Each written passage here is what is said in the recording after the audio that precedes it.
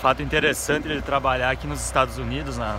principalmente nos estados do norte dos Estados Unidos, onde faz muito frio, é que no inverno não é simplesmente dar partida nas máquinas e começar a trabalhar. A gente tem que conectar um gerador, um gerador de energia, para fazer o pré-aquecimento das máquinas antes de dar partida em torno de uma ou duas horas.